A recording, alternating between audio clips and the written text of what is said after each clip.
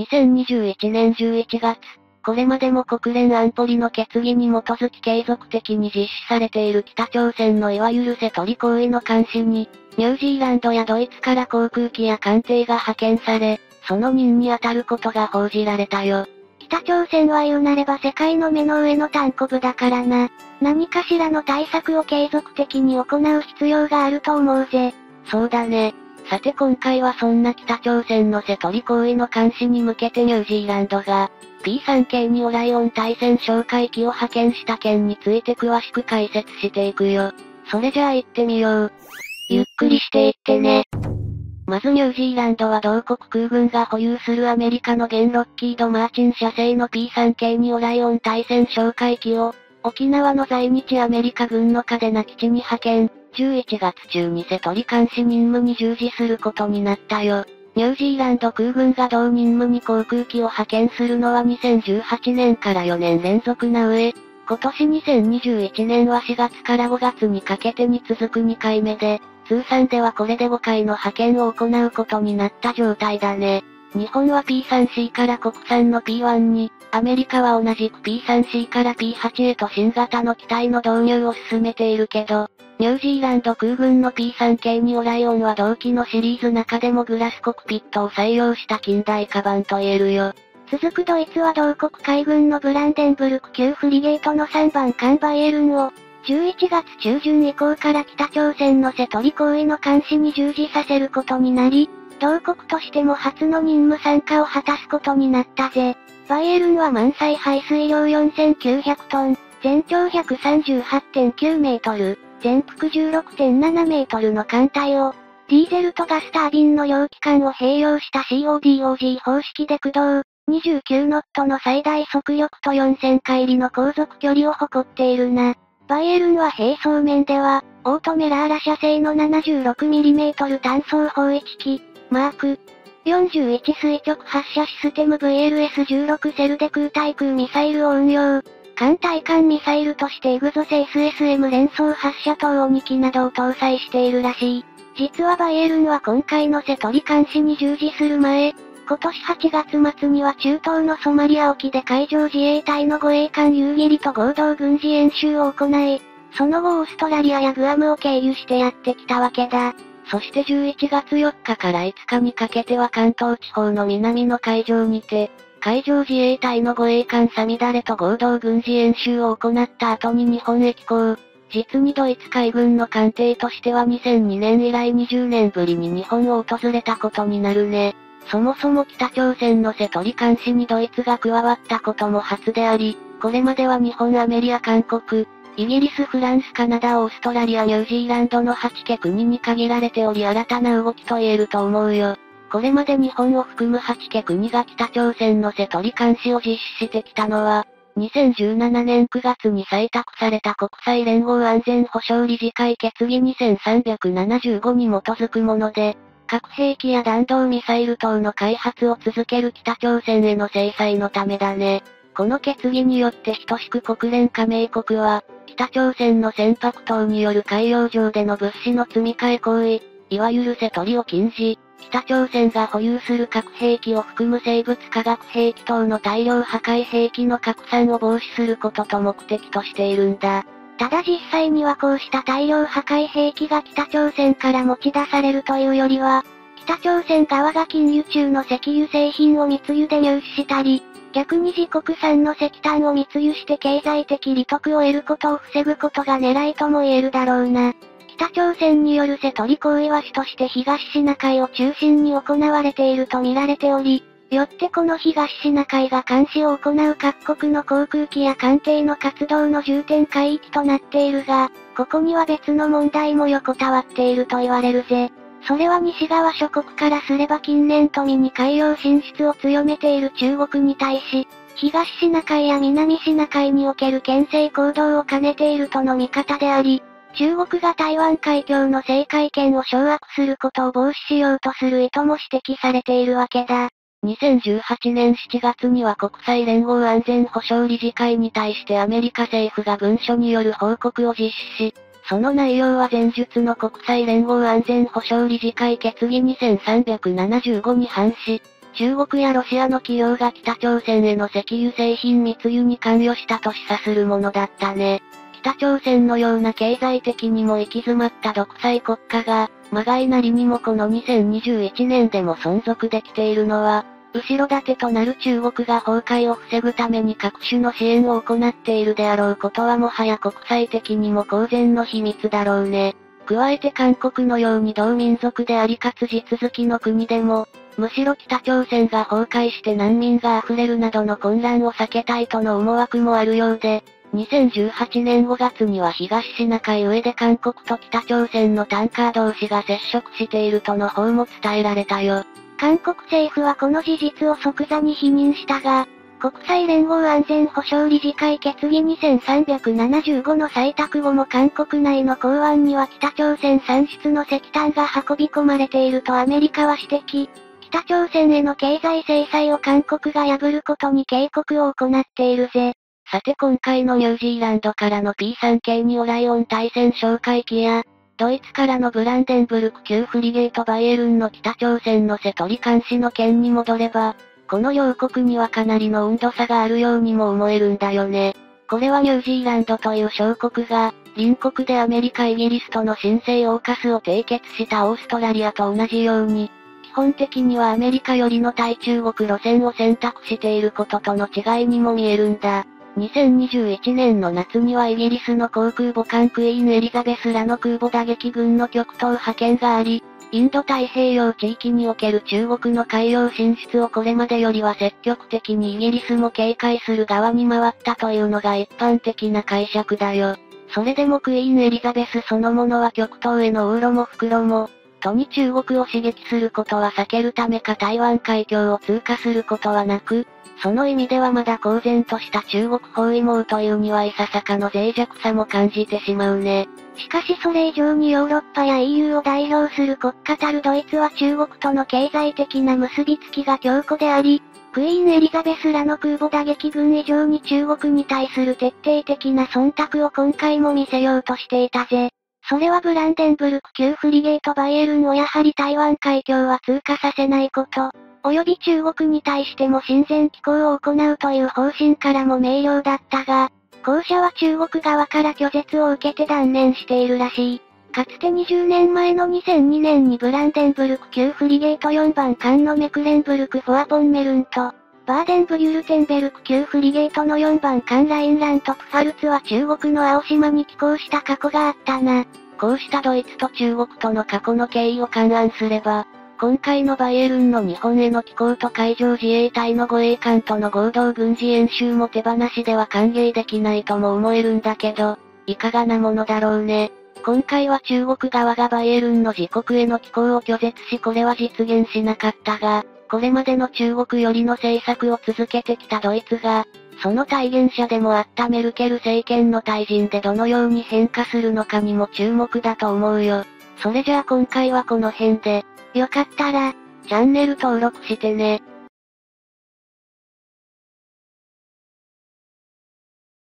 アメリカのロッキード・マーティンが中心となって開発された、第5世代ステルス戦闘機 F35 ライトニング2については皆も知っているよね。アメリカのみならずイギリス、カナダ、日本などの同盟国空軍が運用している既存の戦闘機戦闘攻撃機、対地攻撃機を置き換えることを目的とした計画である統合打撃戦闘機計画、ジョイントストライクファイタープログラム JSF に基づいて開発された多用途戦闘機マルチロール機だな。さて、今回は韓国空軍が運用する F35 の重整備問題について詳しく解説していくよ。それじゃあ行ってみよう。ゆっくりしていってね。さて、まずは F35 について続けていくんだけど、アビオニクスなどはコンピュータによる情報統合を推し進められていて、ヘルメットディスプレイに情報が投射されるヘッドマウントディスプレイシステム HMDS よってパイロットの全周囲視界が確保されているなど、開発当初からマルチロール機として開発されたために、制空戦闘機として開発された同じ第5世代ステルス戦闘機 F22 ラプターと比較した際に、対地攻撃能力や電子装備の充実度合いにおいては F35 が上回るんだって。また、JSF との名の通りにほぼ同一の機体構造が用いられた3つの派生型があり、基本型となる通常離着陸機 CTOL の F35A、垂直短距離離着陸機 STOVL の F35B、そして航空母艦の艦載機として運用される艦上機 CV 型の F35C が同時に製造されていて、アメリカ空軍のみならず海軍や海兵隊でも採用され、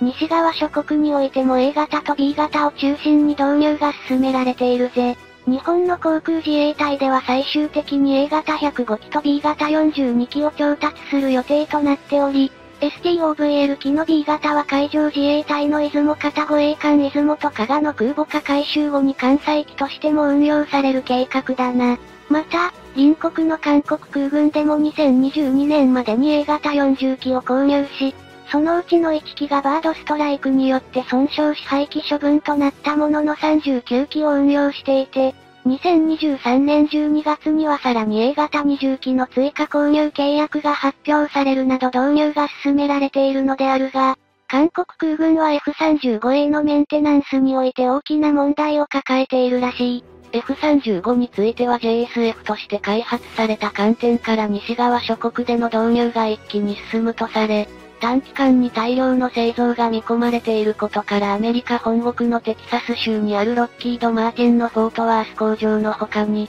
イタリアのカーメリと日本の愛知県豊山町にある三菱重工業小牧南工場に FACO ファイナルアセンブリーチェックアウト施設が設置され、アメリカで製造された F35 の機体パーツが運び込まれて最終組み立てと検査が実施されているよ。また、機体のステルス性能維持やアビオニクスのメンテナンスなど重整備や、ブラックボックスなどロッキード・マーティンのエンジニアしか触れることのできない部分の、メンテナンス修理オーバーホールアップグレードを多数の機体に実施するために、国際整備拠点 MRO&U メンテナンスリペアオーバーホールアップグレードが用意されており、本国のアメリカの他に FACO 設備が利用可能なイタリアと日本がそれぞれ欧州とアジア各国の機体を担当し、南半球における運用国であるオーストラリアの4国に設定されたんだ。アメリカ側のこの方針に従うならば、韓国は最も近い日本の MRO&U において自国空軍が保有する F35 の重整備を実施することが時間的な面でもコスト面においても有利になるんだけど、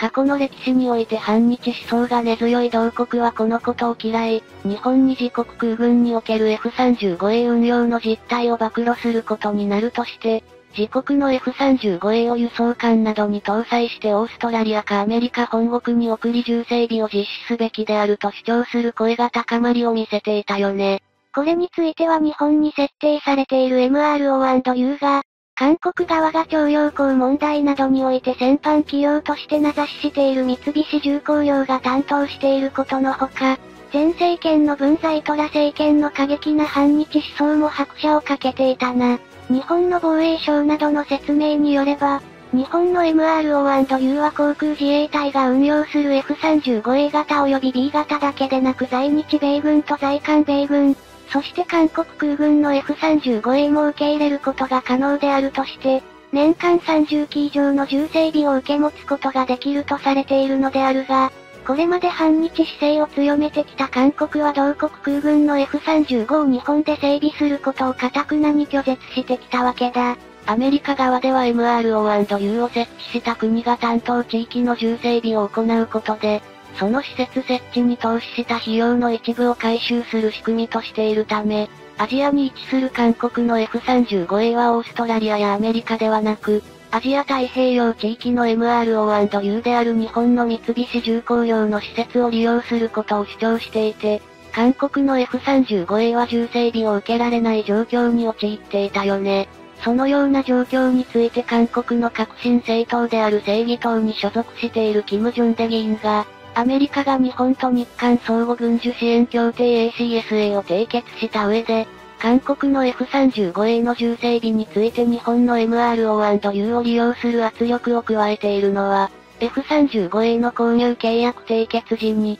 アメリカが当時のパククネ政権との間で韓国空軍の F35A の重整備を日本やオーストラリアの整備拠点を利用するとの条件が盛り込まれた契約に署名したためであるとして、韓国の F35A の重整備をアメリカ本国においても受けることができるという選択肢を消してしまったためだとする主張が報じられたよ。キム議員はさらに、しかしながら実際に時間と費用を負担してまでオーストラリアやアメリカ本国で、重整備を受けることは国防費上のコスト面から見て現実的ではないとして現状では日本で整備を受けるしかないとも述べているんだ。しかし、それについてはチョンジュの空軍基地に配備された F35A の整備を日本の戦犯企業に依頼しなければならない状況であることは屈辱でしかなく、韓国空軍が技術的に日本に従属することになり、容認するわけにはいかないとした上で、それを防ぐために韓国国内に F35A の重整備を実施することができる MRO&U を誘致すべきだとして、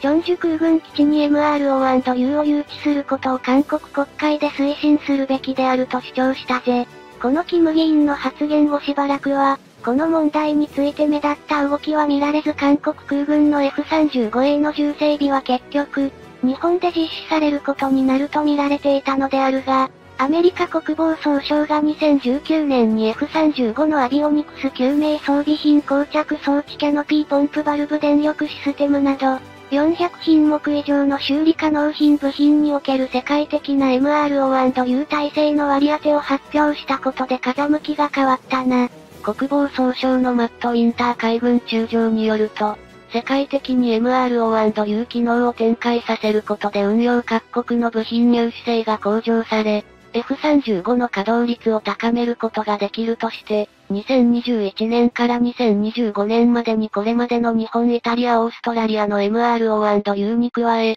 イギリス、オランダ、デンマーク、ノルウェー、イスラエルにも部品を割り当てて修理体制を整備することが明らかにされ、ついで F35 の配備機数増加に伴う修理需要の増加に合わせて、2025年以降はインド太平洋地域の日本とオーストラリアに加えて、韓国にも MRO&U 機能を拡大する考えが示されたよね。その後アメリカ国防総省は、北大西洋条約機構への加盟が決まり F35 の導入を決定したフィンランドにおいても、機体やエンジンに各種コンポーネントの整備や修理を自己完結できる運用体制を構築することを認めるなど事態が進展し、2024年4月には韓国の防衛事業庁が F35A の重整備について韓国国内で実施することをアメリカ側と合意したとして、2025年から韓国空軍の整備士をアメリカに派遣して教育を受けるとした上で、チョンジュ空軍基地内に設置される施設において2027年末から F35A の重整備が開始されることを明らかにしたぜ。これを受けた韓国メディアも日本で F35A の重整備を行うことで軍事機密情報が流出するという懸念の声が多かったが、空軍が重整備を直接行うことになったと報じていて、韓国の反日感情からその行く末が懸念されていた同国空軍の F35A の重整備問題が決着したと見られているね。それじゃあ今回はこの辺で、よかったら、チャンネル登録してね。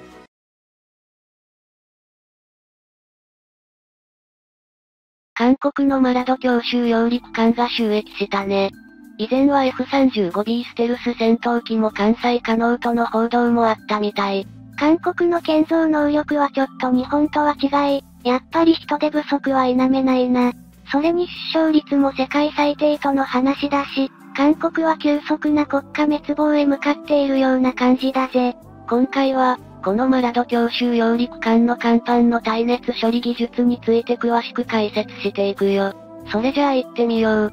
ゆっくりしていってね。2021年6月末に韓国で独都級強襲揚陸艦の2番艦となるマラドが収益したわけだけど、1番艦の独島の2007年に収益から14年を経たこともあり、同型艦とは言っても可能な限りの船体の拡張が図られたよ。具体的な内容として、マラドは満載排水量が1万9000トン、全長199.4メートル、全幅31.4メートルとなっており、この規模感は一番艦の独島より満載排水量で約500トン、全長で15メートルほどの船体の大型化が実現されたものなんだ。なぜならマラドの全通飛行甲板には航空機用の耐熱処理加工が施されているらしく、一部では日本の出雲加賀と同様に短距離離陸垂直着陸が可能な F35 ライトニング 2B 型の運用の可能性もあるとされていたんだ。しかし、実際にマラドの飛行甲板への耐熱処理加工については、大型輸送機 MV22 オスプレイの離着陸に対応可能というレベルであって、F35 ライトニング 2B 型の超高熱の排気熱に対する耐性は備えていないのが現状のようだな。その理由として F35 ライトニング 2B 型の排気熱に頼る耐熱塗装の技術を韓国が有していないことや、そもそも独特急強収揚陸艦の内部構造は F35 ライトニング 2B 型を収容する設計となっていないことが挙げられているぜ。また耐熱加工を語る以前にマラドの飛行甲板の強度自体が戦闘機の離発着の荷重を視野に入れて設計されたものではないと言われており、その点からも F35 ライトニング 2B 型を艦載機とすることは物理的にも非常に難しいだろう。ある意味、特殊な F35 ライトニング 2B 型の運用に必要な飛行甲板の強度、耐熱加工、エレベータや収納スペースの構造を鑑みれば、一見すると全通飛行甲板を備えていても戦闘機運用は容易ではないということがわかるわけだ。そうすると、海事の出雲や香川設計建造の時点から F35 ライトニング 2B 型の運用を想定していたとも考えられ、これらの建造の際に野党が憲法で禁止された空母であると非難していたのも間違っていなかったのかもしれないね。ただし、これまでの日本政府の見解によると、日本が憲法上保有できないのは、潜水艦発射弾道ミサイル通称 SLBM を搭載した戦略型潜水艦や長距離戦略爆撃機、攻撃型の空母であり、出雲加賀イコール攻撃型に抵触しないとの判断に基づくものなんだ。国際的に日本の自衛隊は軍隊ではないと言っているけど、他国から見ればまか不思議な政治的な命題に絶えずさらされている状態で、艦艇航空機等の主要な装備の調達にも面倒な理由付けが不可避であり、